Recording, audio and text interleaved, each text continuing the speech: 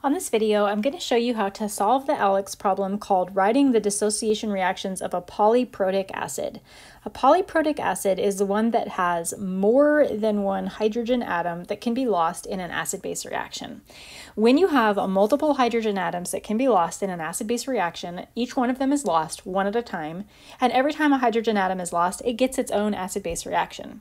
So to solve this problem, you are going to have to write a series of chemical equations. There's room for, for you to write four equations, but you're not always going to need all four of those blanks. You just need one for each hydrogen atom. So this, because it has two hydrogen atoms, we're going to only need the first two rows here in this problem. If this was an H2H3 um, acid, we would need three rows. If there were four hydrogens, we would need all four rows. Uh, we're going to treat every one of these hydrogen atoms like it's its own equation. So we're going to start by writing the molecule H2SO4. Make sure that you're including the state. The state is always going to be AQ. And you're going to react this acid with water as a liquid.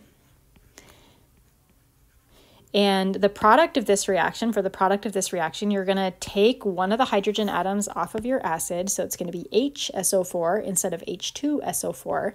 And also you're going to be losing a positive charge as well. You're not just going to be taking off the hydrogen, you're going to be taking off a positive charge, which means that its charge is going to go from neutral down to a negative one.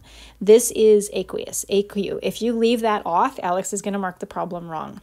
The other product of this reaction is H3O+. plus. That hydrogen atom that was lost, the H plus that was lost by the acid is going to get picked up by the water, so now it's H3O+. plus, And this is also AQ. It's not water anymore, it's H3O+, plus, so it's not a liquid anymore, it's AQ.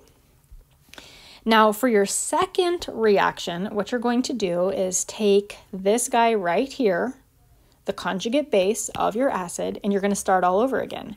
HSO4 minus AQ, and you're going to react that with its own water molecule. We're writing a brand new equation.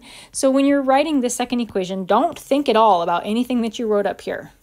Just ignore everything that you've written up here. This is an acid, so again, we're going to get rid of its hydrogen. It's going to be SO4 instead of HSO4, and its charge is going to go down by plus one again. It started as a negative one. We're going to take its charge down one more time, so now it's going to be 2 minus. And that H plus is going to be transferred over to the water, so now it's going to be H3O plus. And that's all you have to do.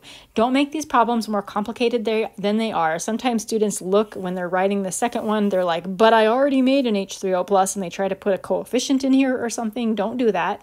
Just treat each one of these reactions as if it is its own entity, and don't try to add in anything that you've already written, like by changing stoichiometric coefficients.